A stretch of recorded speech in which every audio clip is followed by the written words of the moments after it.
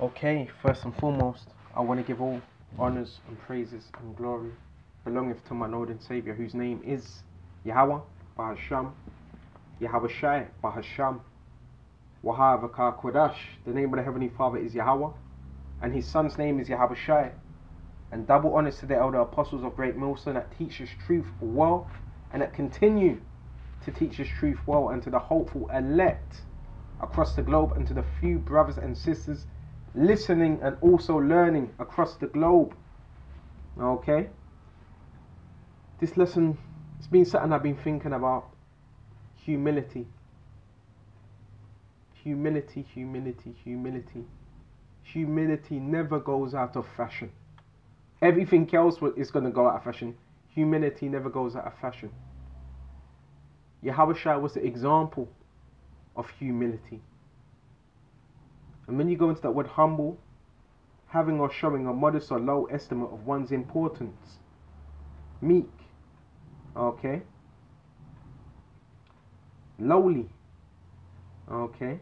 Abase. Belittle. So in this truth, there's going to be times where Yahweh Shai, if he is dealing with you, he's going to do things in your life where you stay humble. Because if you're not humble, he knows how to make you humble. Whether it's falling in the flesh, whether it's something happening to you in the world, you might fall over in front of a group of people. It could it could be various different things. It could be for a brother at camp humiliating you any form of way, Yahweh will make sure that you're humble. Okay? And don't think anything's wrong with that because He can draw more, more nigh unto thee. From what I've experienced in this truth,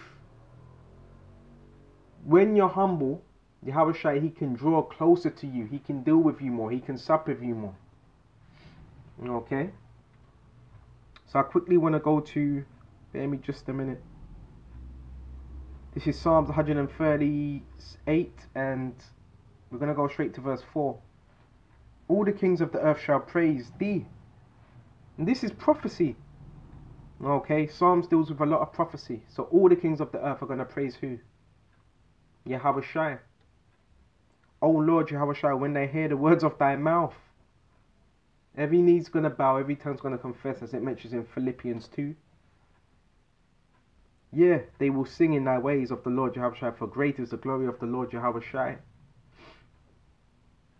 Though the Lord be high, though the Lord the Lord Jehovah be high, yet he have respect unto the lowly. So even though see this is showing you. Yahweh Shai what his, his ways are above our ways, he's higher than us, he's in the spiritual realm, he's looking down upon us. Yet he have respect. So someone that's high up there in the spiritual realm he still has respect unto the lowly. He still has respect unto the lowly, the humble, the meek. What does respect mean? Re meaning back, spect to look. So he looks at the lowly. Forget about the high seat, forget about the positions, forget about the views, forget about the, the subscribers.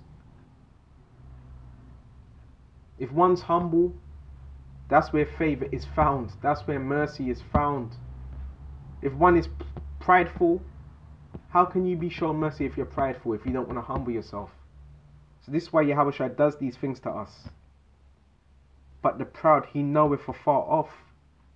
So if you know someone afar off, you don't want them next to you. If someone's afar off away from you, you don't want them next to you. So this is Yahweh looks at humility and the proud. Okay. Excuse me. Proverbs 16 and 19. So lucky if I sound blocked up as well. Proverbs 16 and 19. Better it is to be of a humble spirit. Okay, so it's a better thing to be humble. And humble doesn't mean you gotta have your head down. We're not we're not no, we don't mean that. We're not we're not thinking about it in the world in the worldly sense. Because the worldly how they see humble is weak shallow, step over. That's how the that's how the world see so sees humility. No. Yahweh Shai, he values humility. So better is it to be of a humble spirit. That means you're lowly, you have a low opinion of oneself. So if you have a low opinion of oneself, it doesn't mean I'm not talking about and when I say that it doesn't mean you're a piece of shit. Because obviously you've been brought into this truth, you know this truth. So obviously we have a high level mentality, a kingdom mentality. But when it's opinion of yourself, you're not gonna say, "Yeah, I'm, i think I'm great at this." No, you you have a humble opinion of oneself. So it's better to be of a humble spirit with the lowly, with other brothers that are meek, than to divide the spoil with the proud. And what's spoil? Goods. So it's better to be of a humble, lowly spirit with the prophets, with instead of an army of men that are all proud and dividing the spoil in that war. okay? And you probably, when they're dividing that spoil, they're probably all going to be boasting, proud about it. Oh, who took this? Who done that? Who made this move? So it's better to be with the lowly. Okay? Humility never goes out of fashion. Never. Bear me just a minute. This is um Ecclesiasticus 6 and 16. Number not thyself among the multitude of sinners. Okay? Remember what the scriptures say. If the if the um what's it what's it what's it if the if, if the blind lead the blind they shall both fall into a ditch. Okay. But remember the wrath will not tarry long. Okay, so in, in the multitude of sinners, what there's gonna be a judgment. Humble thyself greatly for vengeance of the ungodly is fire and worms. So what's knowing that? Okay, and what's fire? That destruction, which is gonna come via World War Three. And worms, what's the worms? The worms that eat out your body, maggots. Okay, and that's gonna be what? The the, the destruction of what? The the ungodly. Okay. So humility is very, very, very important in this truth. I don't want to make this lesson too long. Bear me just a minute. Oh man. Quickly get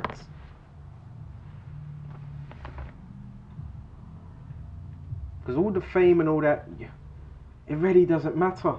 It doesn't matter about the, the fame of this world. It doesn't matter. The main thing you should be seeking we should be seeking is favor from Yahweh Shai and how favor is shown for, through humility. And you know what humility means? Shame. You have to be humiliated. It doesn't feel good, especially when it's on camera, but that's part of the truth. And through that, you're able to grow, you're able to learn, you're able to take more L's. When I first came into the truth, I thought it was all about winning, because obviously, who wants to lose? Nobody wants to lose. Everybody wants to win. Who wants to become second? But in this truth, this is what we learn.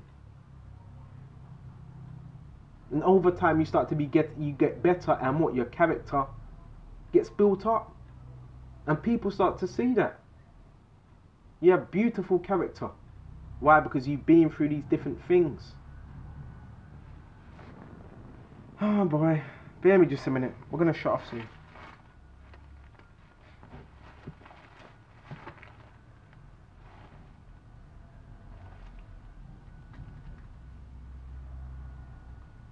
Let's go to. Bear me just a minute.